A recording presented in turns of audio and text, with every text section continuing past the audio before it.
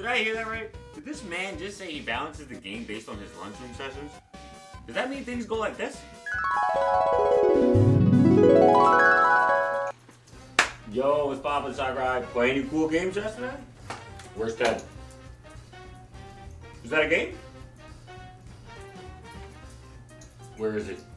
You know, maybe he ain't coming to work today. I'll fire you. Oh, right, right. He's nerfing Pikachu.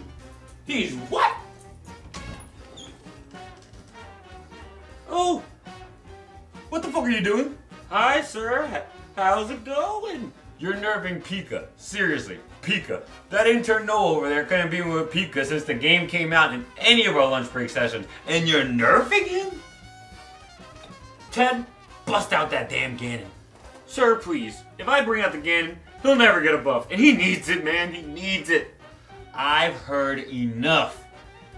Con up, Ted. But, sir! I said con up.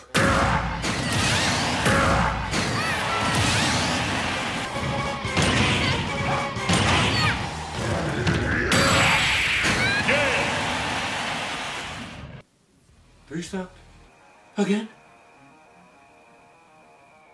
Warlock punch all three stocks. Are you gonna be okay, sir? Nerf them all! Nerf them all! I don't care. If they're heavier than Samus, get rid of them. They might as well be playable. I am out of here. Alright, I'm gonna work on the next bullshit comeback factor. Ted, I'll see you tomorrow at lunch.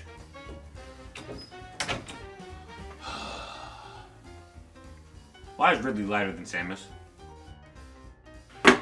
Howdy, howdy, everybody. I just want to say thank you guys for watching. I hope you do enjoy the content and the skit that I put out for you today. I had a lot of fun making it.